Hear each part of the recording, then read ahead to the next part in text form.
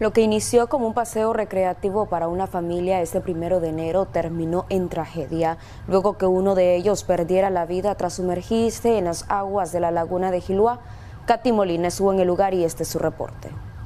Francisco Alexander Fernández Gómez, de 31 años de edad, fue el primer ahogado del 2023. La tragedia ocurrió luego de que el infortunado se metió en estado de ebriedad a las aguas del balneario Gilúa en Managua.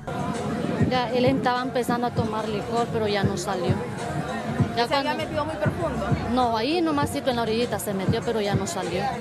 ¿No sabía nadar él? No, ya nosotros lo empezamos a buscar y a buscar, pero no lo veíamos. Parece que el agua lo, lo subió y lo hallaron los de la Cruz Roja. La víctima, quien estaba de vacaciones, decidió compartir tiempo con su familia. Había llegado desde el barrio San Judas con su esposa, hijo y demás familiares.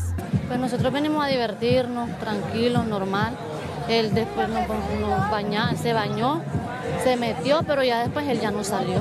Visitantes del lugar indicaron que son muchas las personas que los días feriados llegan a este centro de recreación donde no acatan las recomendaciones y como resultado obtienen lamentaciones. Uno tiene que tomar precaución en estos momentos que se está, está viendo, pues, en el primer día del, del año nuevo que está entrando. El que está tomando, pues, no se debe meter. Y el que anda con sus niños y todo, pues tiene que tener precaución. ¿eh?